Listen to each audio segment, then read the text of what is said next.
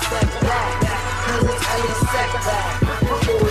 Oh. Um, I'm here with Dangerous David Rodela, the longtime sparring partner of Manny Pacquiao. As it turns out, he may have some kids in the Philippines.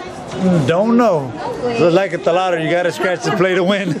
we'll find out. You may or may not have. Yeah, may, may not. Who knows? I don't know how they, you know how they are. No, I don't really.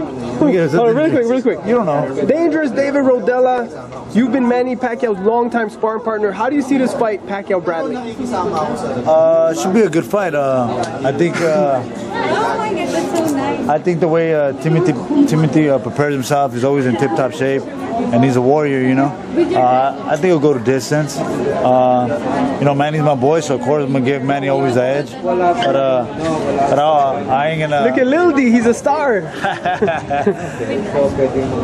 So uh, yeah, I think uh, I think it should be a good fight. Uh, I'm excited. Can't wait to go to Vegas and check out the fight. What do you say about the fight, Pacquiao Bradley? Ah, we're so excited. I'm sure we're going to watch that in New York. Oh, I love you, Manny. You said you know his house. How do you know his house? You're gonna go visit him in Oxnard? I watched the YouTube video of you know how Pacquiao helped you. Oh. It's very touching. And then when I saw you, I knew it's you. Oh, okay. Right? That's nice that people know. How about this? It's All your hard work. You're, you're not gonna spar Manny this time? No. Are you gonna eat in the restaurant? Yes. in Santa Paula? Yes. Want to go? You don't want to go? Yeah, I wanna go. Well, tell me when you're in town. We'll take you. All right, let me know when you're in town. You're not gonna spar this time because you're too tall. Yeah, Because. Bradley's shorter than you. Yes, exactly. So your prediction, if you have to predict this fight, Uh, Manny wins, like I said. Uh, I don't know how, but I know he's gonna win. you're take care of business. I'll take care of business. Like I said, Timothy Bradley's my friend.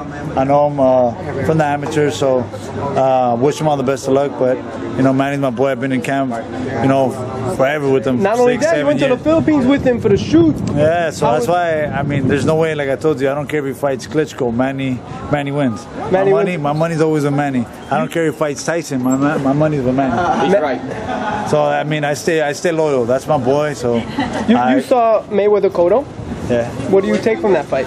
That's just funny because Manny, no, we can all admit Manny struggled with Marquez, but Mayweather played with Marquez. But Manny, Ma- Manny played with, with Cotto, dropped him, played easy time.